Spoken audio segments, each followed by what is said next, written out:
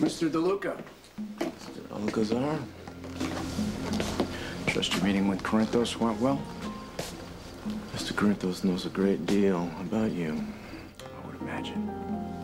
He checked out some of your previous silent partners, previous associates, guys like me, mm-hmm. who haven't fared too well. Accidents happen. I told you this early on. So you did. Why are you after Jasper Jacks? Isn't your concern. You know that Corinthos is after you. Sonny Corinthos will never touch me. And why is that? Because I have something he wants more than anything in this world. You have that Sonny wants. So many questions. Well, you position me to go up against a very dangerous man. I need to know why. Or at the very least, what you've got for leverage against him. You've grown arrogant.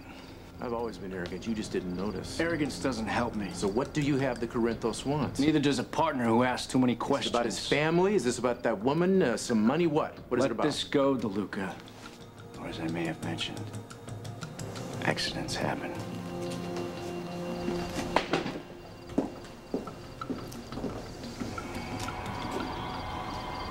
Carly, I need you to get a message to Jason immediately. I have been leaving messages all over for Jason, and he hasn't called me back. I have something very important to tell him. Will you please call him for me?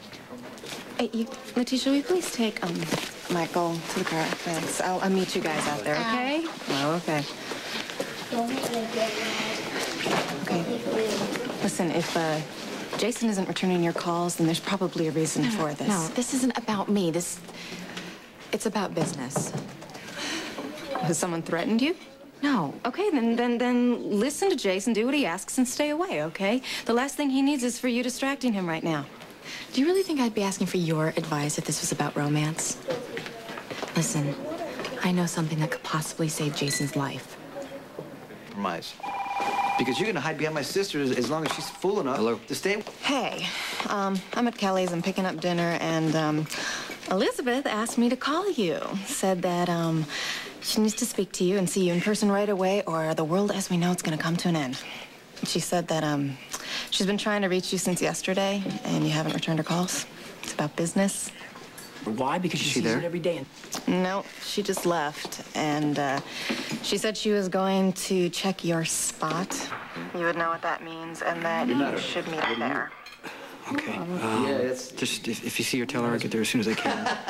You're just her waiting husband. for Is that what you AJ want? to leave. What? What is AJ doing in the penthouse?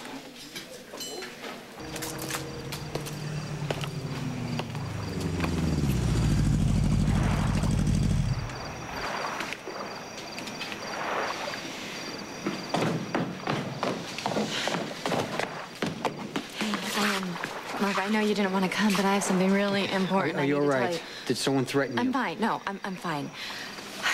I overheard something I thought you'd want to know about Alcazar. I shouldn't have said his name to you.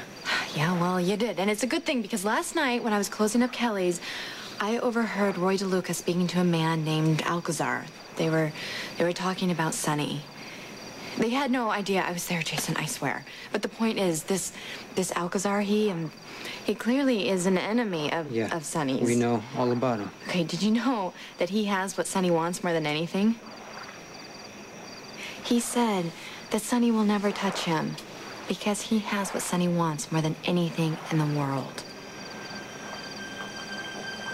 I told Roy that he has something Sonny wants more than anything in the world.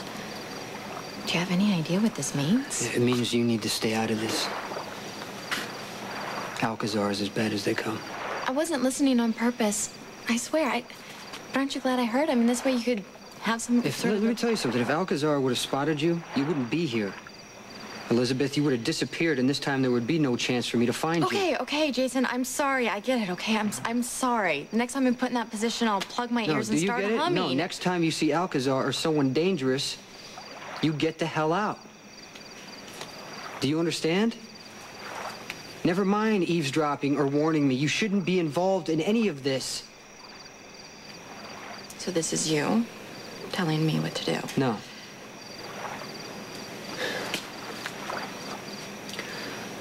I don't want you to die. That's what it is. And I'm asking you not to risk your life for me. Maybe I want to. What? Did you like getting shot? And you remember how fast it happened, how surprised you were? What, what if the bullet was three inches over? I've held you once and watched you bleed. I can't do it again.